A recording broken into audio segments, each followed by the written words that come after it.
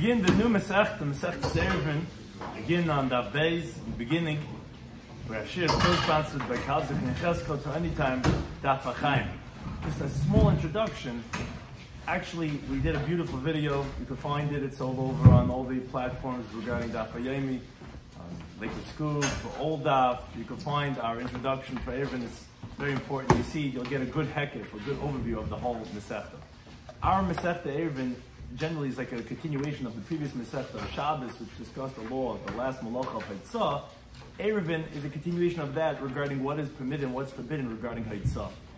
Just to get an understanding of what the Parakim are going to look like, the first two Parakim are going to be discussing Eruba Chatzeris, which is being allowed to carry in the common area, let's say, in our developments. Then in the third to fifth parak is going to be discussing Erev Tchumen, the ability to be able to go beyond your Shabbos residence to go another 2,000 hours.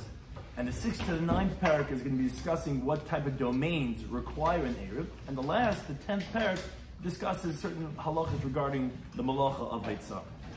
Hashay's co-sponsor, like I said, Kazakh and Cheskel, Term Tam Daf HaChaim.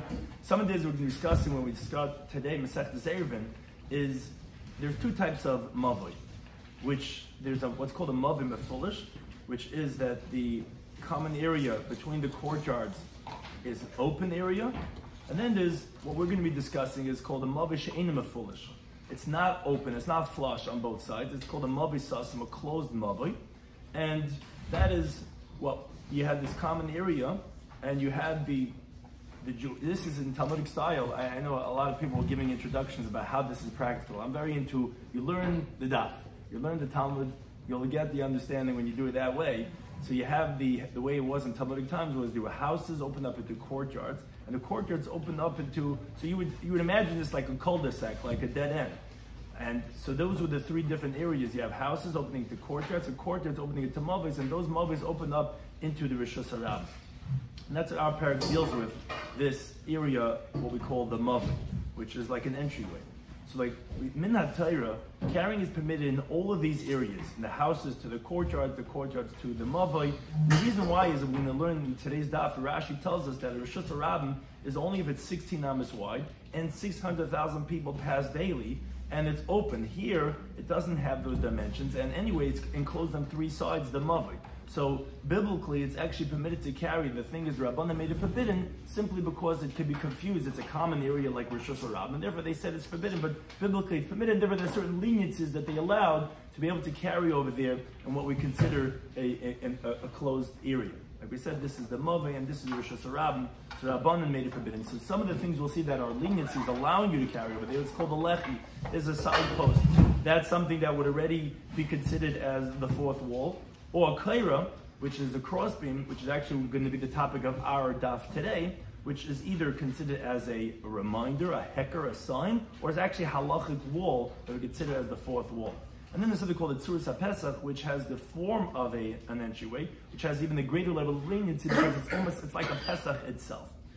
So we have a machlekes tanoim in today's daf regarding the height of the kaira and the width of the kaira. And finally, we have certain discussions regarding the measurements of various doorways that they were by the Beis Hamikdash, which is the source, according to one opinion, where we know the halacha what a Pesach is, and of that of the Mishkan.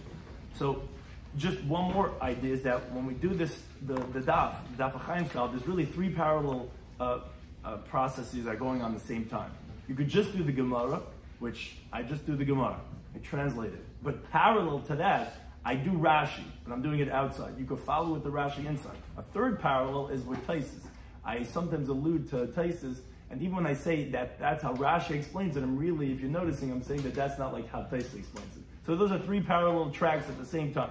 You do just the Gemara, you can do the Rashi, just look on, you'll see I'm translating every word of Rashi, and then there's the third track of Taisis, but that's that's the concept we're talking about. So let's begin the current daf. Mavoy, we're talking about an enclosed alleyway which they placed a crossbeam on top of the alleyway. Like we said, that that serves as a reminder that that's the end of the Mavik. Shahu, that the crossbeam is Gavaya is very high, Lamala Mesam Amma, it's higher than 20 Ammas. Now, as we explained, this beam is coming to permit carrying inside that Mavik. Because biblically, like we said, the prohibition of carrying a Shabbos is only Rosh Hashanah, only a public domain. What's a public domain? That's a highway. That's a that's the marketplace, like the Gemara says in Shabbos Avav Medal, which are similar to that what they had in the Midbar, which all the halachas of Shabbos. We learned out what was in the days of the Mishkan. Now the calves of the Levium, they were a width of 16 amas, like the Gemara says in Masechet Shabbos of Tzadik Tesamel. So therefore, it's not going to be a Rishas Rabim if it's less than 16 amas in the width, and also it has to be open on both sides. A mavoi is narrower, it's not 16 amas wide, and also even if it would be 16 amas wide, it's not open on both sides. What's called mavulish. Rather, one side is open to the Rishas Rabim, but the other side is closed off. Because as Rashi explains, actually, if the mavi is open on both sides, actually it's not permissible with what we're discussing over in the Mishnah with a kray or with a cross, as the Gemara is going to say later on, the vav and base. So since we're starting with that premise that this area that we're talking about, as you can see in the picture, is not a Rishas Rabbim, because it's not open on both sides. So biblically, you're allowed to carry over there without doing anything. The Rabbanim made a Xer Rabbanim. They made a decree that you might come to confuse with a Rishas Rabbim. Looks just like a Rishas Rabbim. You can't really tell it. It looks just like the street. So therefore, they said rabbinically not to carry over there but they permitted with certain takonis, with certain rectifications, with let's say a lechi, what we've showed in the introduction of a side post, or a kairo or a cross name. These are going to be some of the things we're going to be speaking about a lot in this Masechta. And the reason for that is, at least according to one opinion, is that it should be a hacker, a sign. You see, oh, adkan ha'erev, you know, you see this is where it is. That's what the kaira is, that you shouldn't come to the mid carrying in the Rosh Hashanah Gemur. Now, what's the halacha if, let's say, the kaira is higher than 20 amas, so that's a machlekes in Mishnah. Now, the Kama says you might you should lower it down. And the Gemara is going to explain what's the reason for this. Now it's interesting that Taisus asked that why you're starting off with what you should do to lower it. You should have first said that the way to rectify a mavai is with a lechi or a kaira, and then if it's higher than 20 amas, you should lower it down. So that says Taisus that, and now we'll understand the Gemara's question, that no, actually we prefer to start off with this type of terminology. If it's higher than 20 amas, what you should do, because it's actually follows after the wording in the Mishnah Masech the Sukkah that also says if you have the ischach higher than 20 amas, what's the halacha going to be? Therefore, it starts off like that, but it doesn't even tell us that what the halacha is. But it says if it's higher than 20 amas, you have to lower it down. Yehuda, he says in the Tzarech, he says no, you don't have to lower it down. It's valid as it is, even though it's higher than 20 amas. I'm seeing the Gemara exactly what's the machlekes. Now, now another uh, related machlekes is v'harachiv me'eser amas. Let's say it's wider than 10 amas. So we just spoke about higher than 20 amas. What's ever wider than 10 amas? So the Tanakama says, you might, you should lower it, you, you should make it smaller. Meaning to say the width of a an opening is only 10 amas. More than that, it's not considered anymore a Pesach, an opening. It's what's called a pirza, a breach. And we need to have an opening. So what you have to do is, as this picture shows, you have to put p- poles to, to, to diminish the opening of the of the entryway and to make it 10 amas or less. That's if it's more than 10 amas. Then says the Mishnah above, let's say Pesach, let's say has the form of an opening, which is a side post, a side post, and a lintel on top of them. So then, then says the mission, even if it's wider than 10 amas, in Tzarklamite, you don't have to make it smaller, that's okay, but Surah Pesach is a Pesach. So even if it's more than 10 amas, it has the form of an opening, it is an opening. So therefore it's going to be okay even if it's more than 10 amas. Now the Gemara asks an interesting question. Tanan Hasa, we learned over there in the Mishnah Masech the Sukkah says a very similar halacha, like Taisa said from the Rimar lines. That's why we said the similar wording in our mission. Sukkah should give oilam al mesim. If you have a sukkah higher than 20 amas, psula, it's puzzled. Schach can't be higher than 20 amas. Rabbi Yehuda Machshir says no, it's going to be valid. But says the Gemara the following question: Ma'ishna gabi. Why is it different by when we talk about the mitzvah of sukkah? Tani psula. It says invalid. That's it. Done.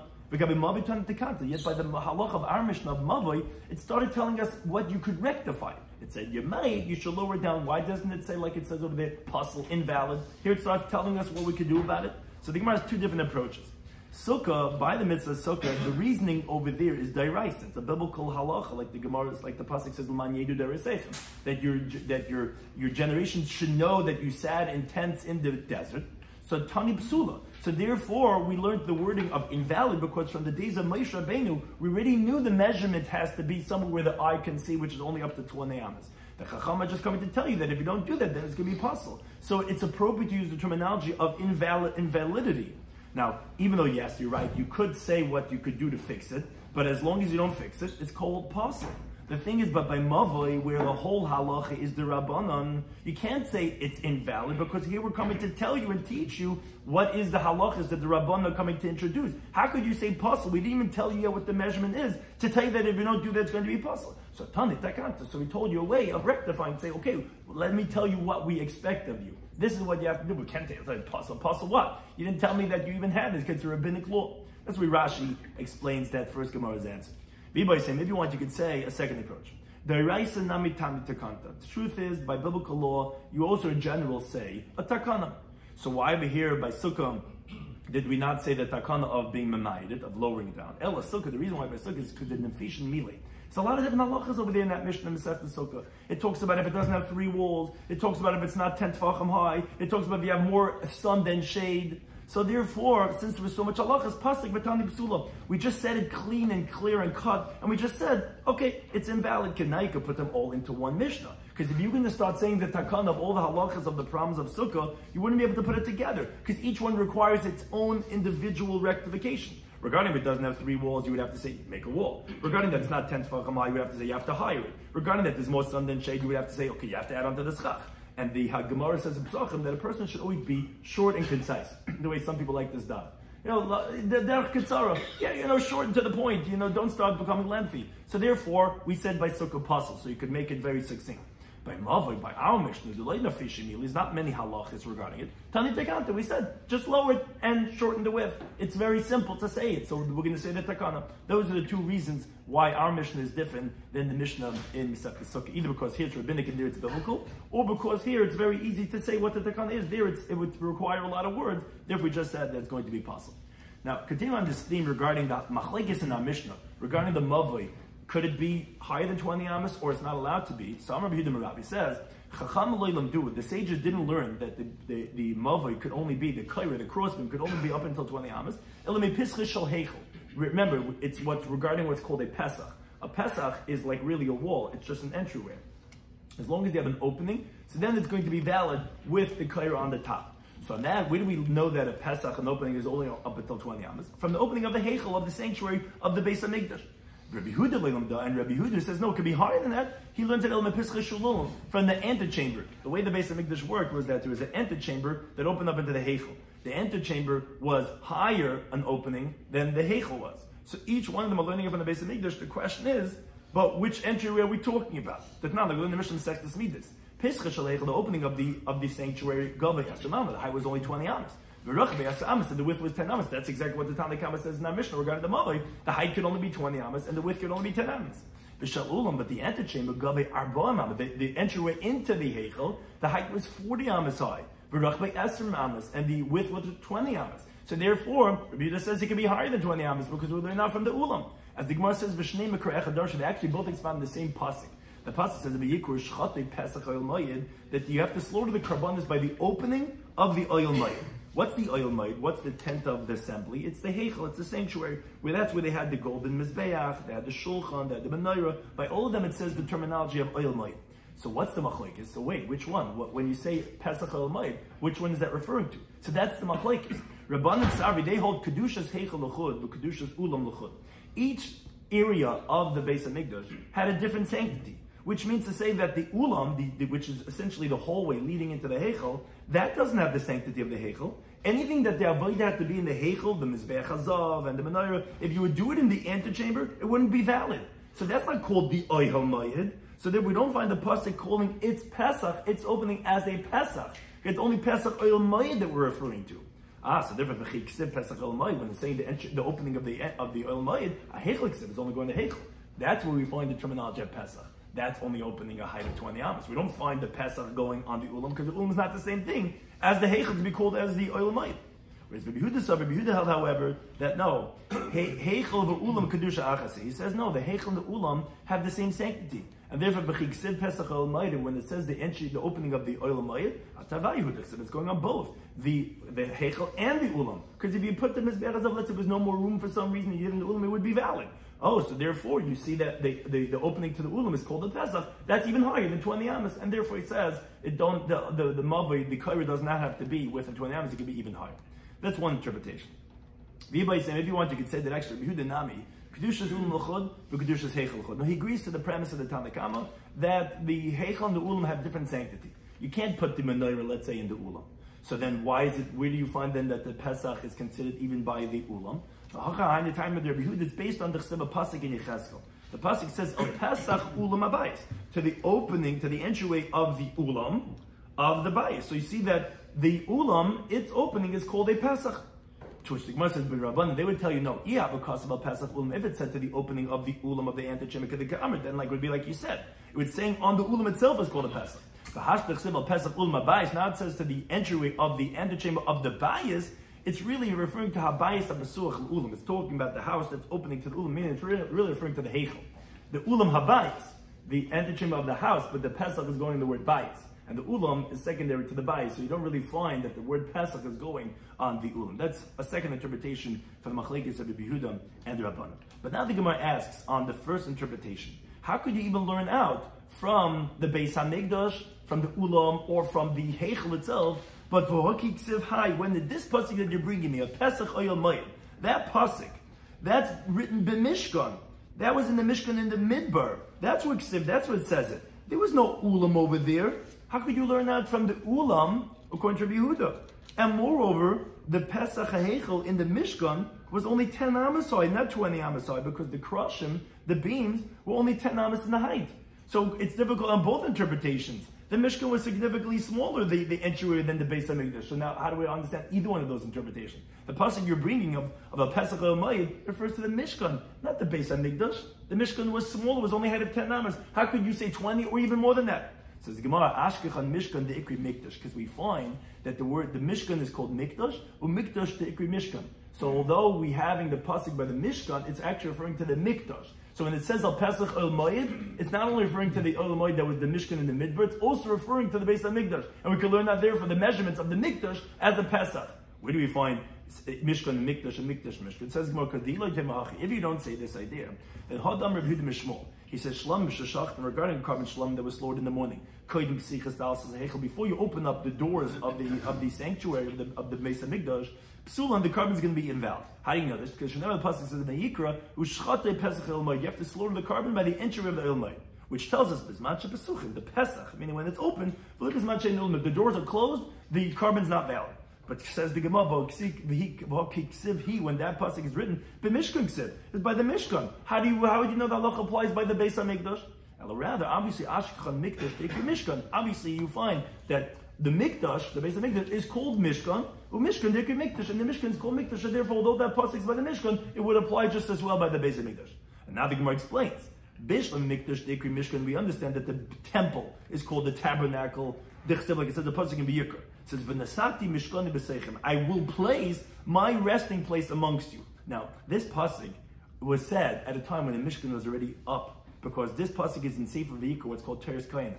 This whole Sefer Vayikra was told to Moshe Rabbeinu in the Oil Mayim, like it starts with Sefer Vayikra. So when he's telling him, "I will place in the future my Mishkan," well, what Mishkan? The Mishkan's already up obviously it's referring to the Mikdash.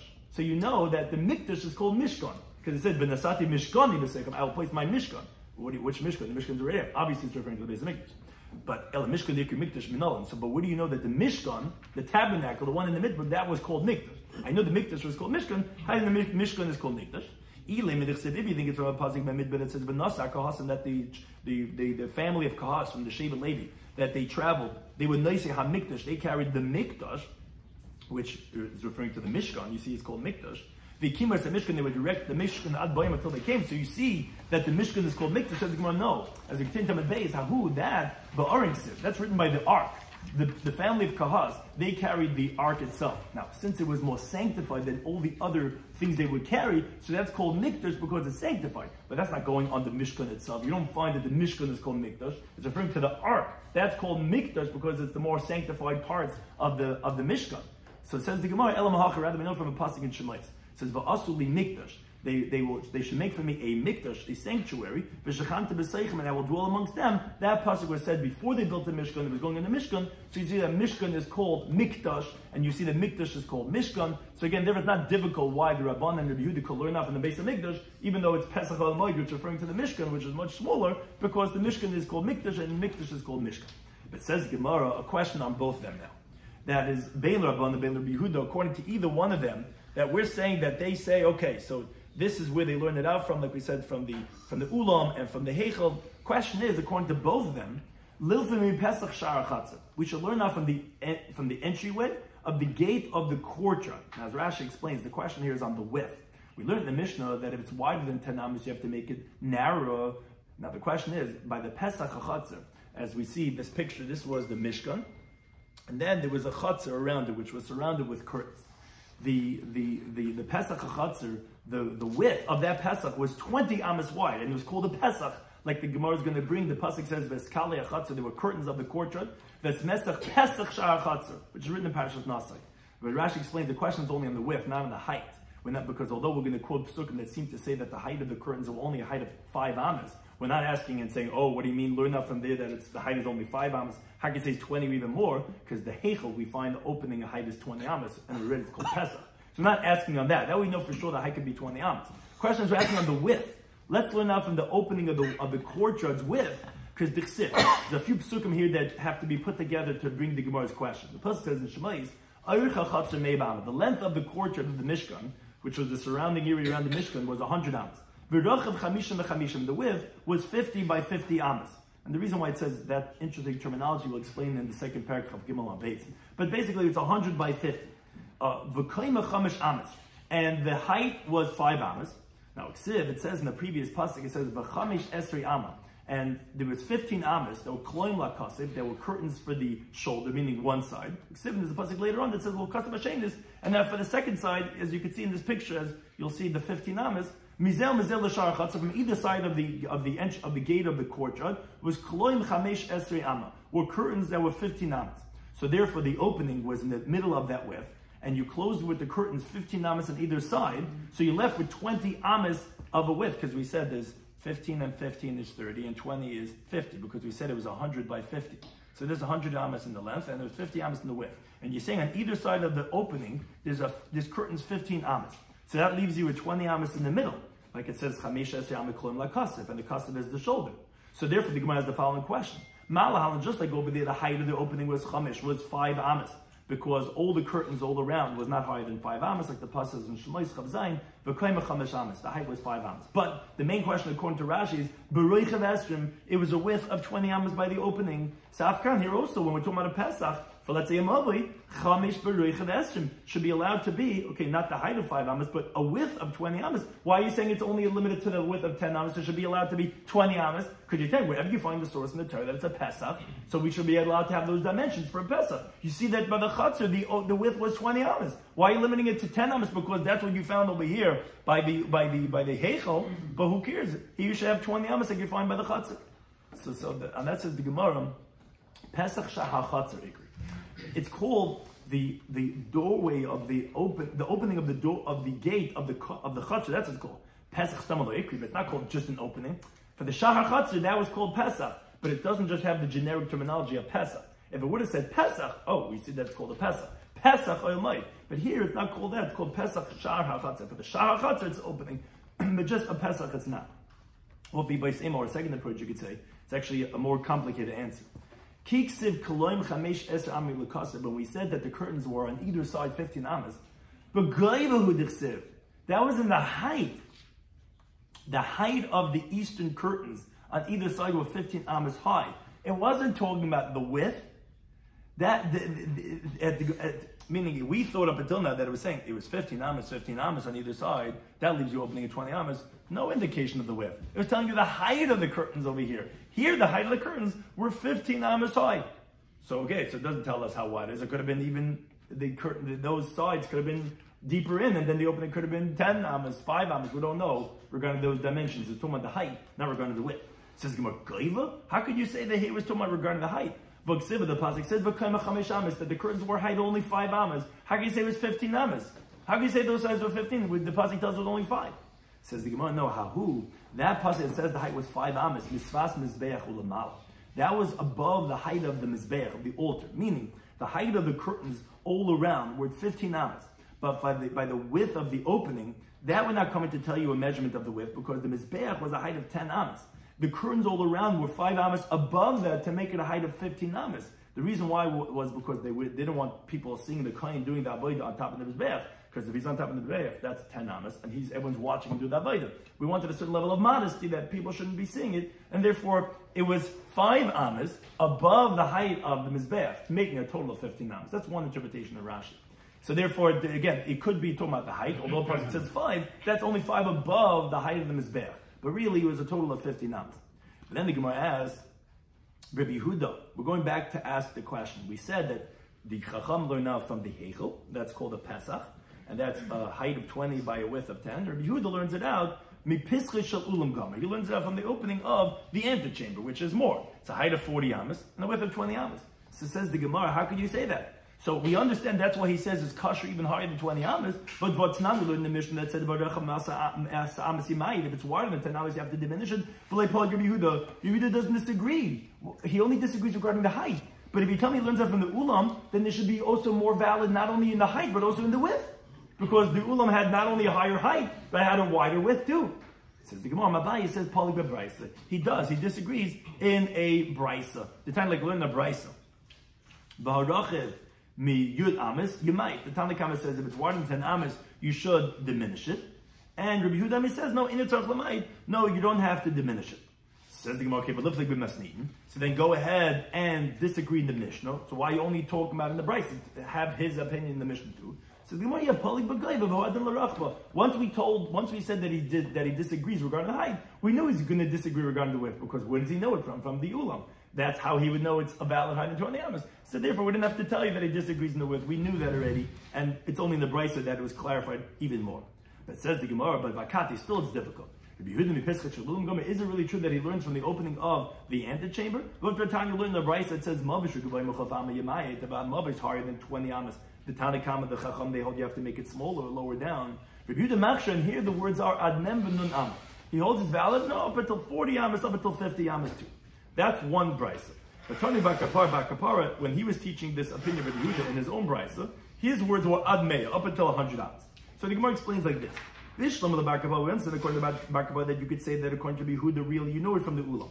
And really, only validates it up to 40 amas, like it was by the Ulam. So why is Bakapar saying up until 100 amas? So that's a guzma. It's an exaggeration. Because since Rabbi Yehuda is validating higher than 20 amas, higher than 30 amas, so according to Bakapar, it's like an exaggeration. It's like, wow, he, he lets even 100 amas. But it's just an exaggeration. Really only lets it up until 40 amas.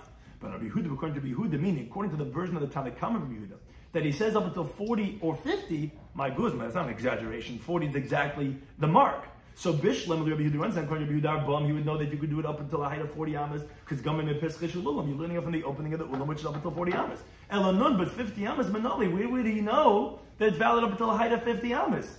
Rav is telling you you know it from the Ulam. The Ulam's only up until 40 amas. Why would you say up, up until 50? It's not an exaggeration, you're, you're very close to the mark. Why, why are you overthrowing it? 50 amas, where do you know that from? So Rav Vigmar rejects the interpretation of Rav that we had said up until now. Amar Rav Chisda. He says, You're right. Nita, the following Bryce I'm about to bring you, Atiise Larav, misled Rav. Rav, who said Rabbi Yehuda learns it out from the opening of the Ulam, the following Bryce misled him, and it's not true. He doesn't know it from the opening of the Ulam. Like we see, he validates up until 50 Amas. That can't be from the Ulam. Ulam was only up until 40 Amas. The Tanya, what was the Bryce misled Rav? If you have a mother that's higher than 20 amas, which is more than the opening of the Hechel, says the Rabban, you might have to make it smaller. Now, who saw when Rav read this Bryce, he thought, wait a second, midrabanan, the fact that the rabbanan, which is in this brayse, mi pischach shalechel, gam they learn from the opening of the hechel, because that's what you're saying. It's higher than 20 amps, which is higher than the hechel, you got to make it lower down. So he thought, wait a second, Rabbi Yehuda the disputant must be mi pischach shalulam gamar. Because they're both learning out from the same pasuk, B'shach the Pesach Mayid. Question is, like we said on Oman Aleph, what's considered the Pesach Mayid? Is the Ulam and the Hechel the same thing or not? So he figured if the Rabbanan say up until 20 Amos, Rabbi Yehuda says even more, must be from the Ulam. But says Rav Chisda it's not true. Rabbi Yehuda mi pischi de Malkin Gamar he was learning out from the palaces of the entryway of kings, which generally, like the openings of the oh, by the by the palaces, are much higher than 20 amas, and that you see is considered as a pasach. You see in a very practical way that's a pasach, and therefore it's even higher than 20 amas. That's what he knows that that's considered pasach, not from the sources of the pasuk, as we had thought regarding the ulam, and that's why he holds it's even kosher 40, 50 amas. It could be even more than that. Now the Gemara that finished with the Yehuda, the Gemara is on the Chacham. Rabbanon, imi If they learn out from the opening of the Heichel, so okay, I understand the dimensions. That's exactly like you said. A height of 20 amas, and a width of 10 amas. But the bite lost is keichel. If you're learning it from there, and that's where you know that it's considered entryway, you should require doors for the mavai. Just like the heichel, that, that's called a pesach, but had doors. Allah so why do we learn mission later on that Alpha Mabez that says Hechshem Mavi, the way to validate a Mavai, Bisham Emetz and we'll get to it when we get there. But Bisham says Lechi, which like we said, Lechi is a side post or some type of a pole or a board that's stuck in by the end of the wall over there. And Bakaira, he requires not only a side post but also a crossbeam. But Basilim, they say no Lechi Aikar, either a side post or crossbeam. But one thing is, we see according to both opinions, you don't need any doors, but why don't you need any doors? Says the Gemara, no, glasses lahechel, the doors of the were not part and parcel of the Pesach. That's what sneeze ba'al would have. That was just for modesty, like we said, just to make it discreet. But it wasn't as a halachic requirement to make it into a door. So then the Gemara says one final question. If that's the case, then loy Pesach. Then what we call the, the frame of a doorway should not be able to validate it more than the width of 10 amas. Because we said, uh, did the whole why? Because by the hechel, by the sanctuary, Tzuras Pesach, it had a form of a doorway, and if Allah, and even so, Esra Amos of was only worth of 10 Amos. So it's not learn in our Mishnah that the final words in our Mishnah were Yeshlei Tzuras HaPesach. If it has a doorway, even though it's wider than 10 Amos, in the Tzarech have to diminish it because, oh, that is a doorway, that's a Pesach. Even though a doorway is usually only 10 uh, Amos, more than that is a breach. If you have a figure of a doorway, which is very practical in today's halachic Eruvin, so then it's going to be valid even more than 10 Amos. Why? Your whole source is from the Heichel. The Heichel is only up until 10, uh, 10 Amos, and the Heichel itself had a Tzuras HaPesach. So how could Shulchan Pesach allow you even more than that? Says that says the Gemara. You're right. Midihu. With this whole question that you're trying to resolve is El Rav, because the whole question was based on because you tell me the Rabbanan learned out from the Heichel. And that's where you know the dimensions from. And then you're asking, oh, the Heichel, so then Tzuras Pesach shouldn't help. You're right. Hamas Yehuda L'chiyah Barav. Rabbi Yehuda the, uh, was, was telling in front of Rav this teaching that if there's a Tzuras Pesach, which were the words of our Mishnah, that in the Torah Lamait you don't have to diminish the width. On that Vamalei, Rav said to him, ask me, no, you should teach in the Tanoi text that Tzarech Lamayit, that you have to go ahead and diminish it. Because yes, Rav disagrees. Rav, who learns it out from the Pesach Shal Heichel, he holds it's not sufficient. It's not it's the Pesach without let you be more because you learn from the Heichel. The Heichel itself had a Tzuras Pesach and was only up until time is with. And therefore, yes, not like the words of our Mishnah, he amends it to say that Tzarech Lamayit, not in Tzarech Lamayit, because the whole question was according to him. And we're saying yes, according to him, it actually would have to be a go ahead and, and made smaller because you can't learn that out from that of the of the Heichel, because the Heichel itself had.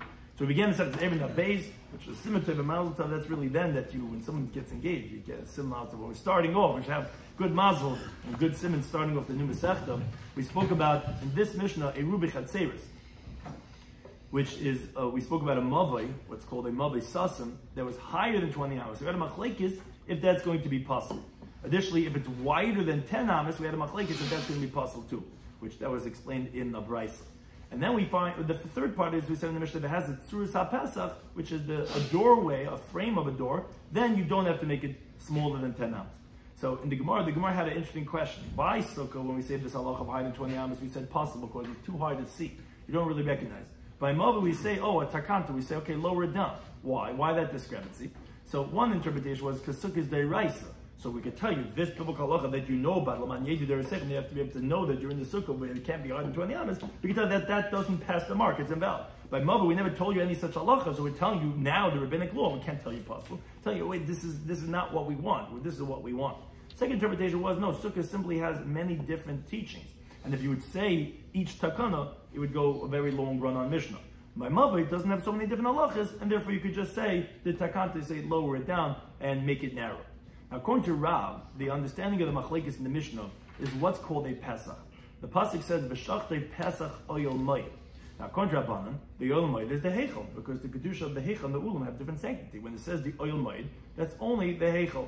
Now, the heichel is where we know that it's a height of 20, of 20 amas and a width of 10 amas. According to Yehuda, no, the heichel and the ulam have the same sanctity, and the ulam is higher than 20 amas. So therefore, it could be kosher. It's called the Pesach of oil mayit, even that of the ulam, which is even higher than 20 amas. Now the Gemara pointed out, wait a second, how are you even learning off from this pasuk? That pasuk is by the Mishkan. The Mishkan is where it says this pasuk of Pesach Elayim. That the height was actually only 10 amas.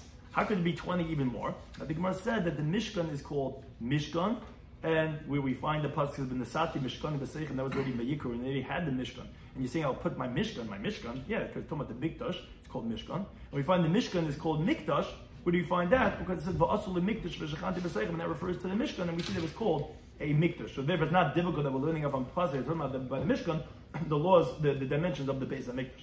Second interpretation was we know from a different pasuk in Yechezkel, Pesach ulam habayis. According to yeah, you see the ulam is called a Pesach. According to Rabbanan, no, it's regarding this word of habayis that's open to the ulam. That's called a Pesach, but we don't find that the ulam is called a Pesach by itself, and therefore it's only going to be valid up until 20 amas, not more than that. Then we said the next halacha in the Mishnah was the width of the Pesach is only until 10 amas. And why didn't you learn now from the Pesach Shar HaChatzer, which that width is 20 amas? So why is everyone saying only the width up until 10 amas? Because, like the Gemara said, it's called Pesach Shar HaChatzer. But it's not just called Pesach. So therefore you can't learn out Pesach. It's a Pesach of the Shar HaChatzer. But as a Pesach itself, we wouldn't find it's called a Pesach more than 20 amas. The second answer was that actually this that it says that the, that the curtains on either side were chamish esrei amal that was talking about the height. It was not talking about the width. So the height, it doesn't tell us the width that was that was 15 or 15 in the middle is 20. It's talking about the height is 15. So that doesn't tell us anything regarding the opening of the middle. And I, it says that the height was actually only 5 amas. How can you say the height was 15? That was misvas mizbech lamal. Mizbech was 10 amas. We're telling you 5 amas higher than that, which was for a total of 15 amas. So only talks about the height, doesn't tell us regarding the width. Then we had Rabbi Huda that actually in the Brisa he validates the opening more than 10 amas in the Reichev, in the width, although he doesn't say that in the Mishnah. And the reason is because he learns that from the opening of the Ulam, just like the height could be more than 20 amas, so the width could be more. The difficulty is that we have a Brisa that says Rabbi Huda says it's valid up until 40 or 50 amas. Uh, Bar Kappara says up until 100, you understand there's a guzma. But according to the verse that 50, where do you know 50 from? If you're learning from Pesach Ulam, only to a height of 40 amas, because the Ulam itself is only 40, how do you know 50? So the Rav Chisda says, you're right, that the Braiser misled Rav. He assumed from the fact that Rabban learned enough from the opening of the Heichel, which only until 20 amas. So Rabbi Yehuda would learn enough from the Ulam. Says Rav Chisda, it's not the case. We learn enough from the opening of the palaces of kings of, and therefore there it's even higher than 20 amas. That's what he knows from. It doesn't know from the Ulam, and therefore that's not his source, and therefore it could be valid even higher than 40 amas. It could be even up to 50 amas. Then the Gemara finished off with Rabbanan that they learned that from the opening of the Heichel. So wait a second, why didn't you need doors? If the Heichel itself had doors and you're learning it from there, no, because that was only for to be modest, for this to be discreet. It had nothing to do with the halachic dimensions. And this that it helps a Tzuras Pesach to be more than ten amas. Why should it help more? Even though in the base of Mikdash they had a Tzuras Pesach and it was only until it was only a width of ten amas. So it says, well, you're right. That whole question is only according to Rav. Rav actually said that not like our Mishnah. That yeah, right. If it's more than ten amas, even if it's Tzuras Pesach, Tzarech Lamayt, you would have to make it smaller. You're right. Just like we find by the Heichel that it was only up until 10 amas, even the Tzarech Pesach, Tzarech Pesach would not let you have, according to Rav, more than 10 amas. Thank you to any time for hosting us.